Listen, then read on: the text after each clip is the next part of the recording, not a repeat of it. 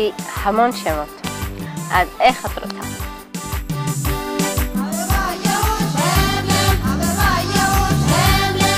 שמי יובי, אה, זה קיצור של יהוב מרט. חבתי. כבדה. אלכבד. קנובוש. אין שם מקרי.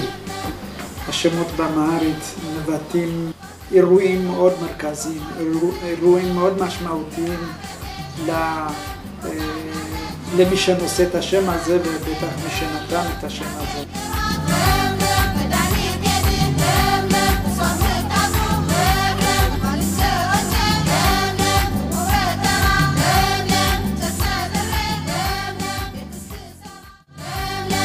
אני בת ראשונה, אז, אה, אז, אה, אז אני תוצרת מובחרת. השם שלי מקואננס באמהרית זה הנסיך.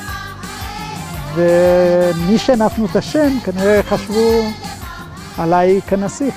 שלמה טיגריס, ואז כולם צחקו, צחקו, והילדה הזאת לא חזרה יותר, לא חזרה יותר לכיתה.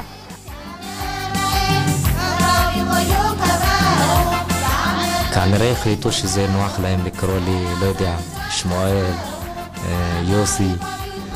מה ציונה זה השם של הסבתא שלה. אה, לא רוצה.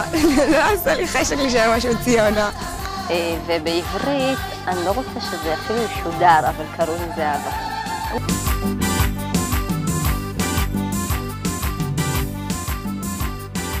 לפעמים עדיף שחלומות יישארו בגדול חלום.